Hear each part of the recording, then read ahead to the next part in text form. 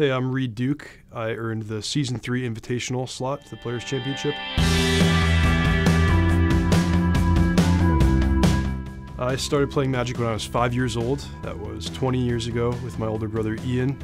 Uh, my mother brought us home two starter packs. Starter packs don't even exist anymore, but at the time, my brother had a starter pack of Ice Age, I had a starter pack of 4th edition, and we just played, and 20 years later, here I am. My first big break was winning the Magic Online Championship Series. I, I, what I mean is winning the monthly championship for the Magic Online Championship Series, getting to play the, uh, you know, the big show at the end of the year, and I flew out to Chiba, Japan, 2010 to play the Magic Online Championship Series and the World Championships. At the time, that was my second pro tour, and uh, that was the first time I really earned earned substantial money playing Magic, and it gave me a lot of hope that I could that I could. Uh, you know, someday make a career out of it.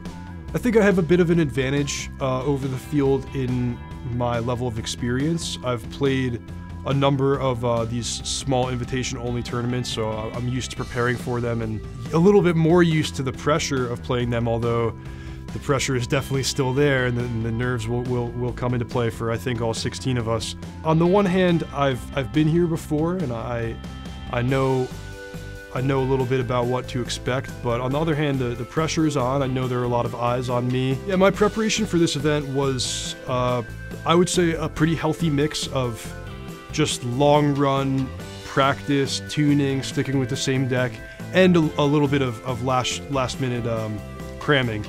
I had I played the World Championships two weeks ago, which featured the standard format. So I played countless hours in preparation for that. Um, so I feel like I have my bases well covered in standard.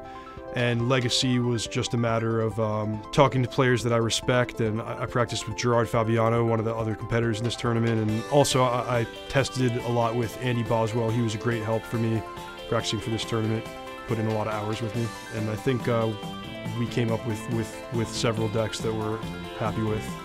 My most memorable magic moment of the year was was making my first Pro Tour top eight at Pro Tour Atlanta. It's uh, I've been on the Pro Tour since 2010 and have been watching for many, many, many years in advance of that. And I always dreamed of being able to play in a Pro Tour top eight. So that finally making that breakthrough after being uh, close but but but missing every time for so many years, it, it meant a lot to me.